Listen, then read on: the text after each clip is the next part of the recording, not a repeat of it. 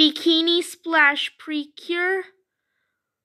No! More like Sparkle Sparkle Precure.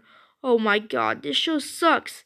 This show is a huge ripoff to Futariwa Precure Splash Star. Oh my god, this show sucks. I mean, and this show involves four girls going on awful adventures. Cure Rose is dumb. She ripped off Cure Bloom. Cure Cure Windy is a crybaby. I prefer Cure Windy from Futariwa Precure. I prefer Cure Windy from Futariwa Precure Splash Star. And she ripped off Cure Egret.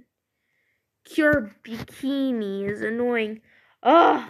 How many Cure bikinis that we always have?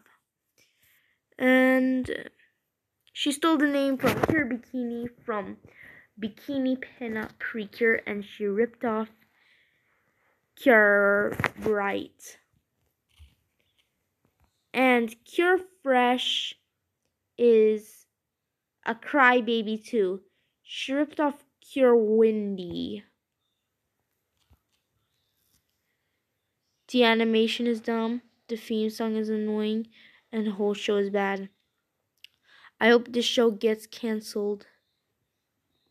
I don't know who likes this show, but do you know who hates it?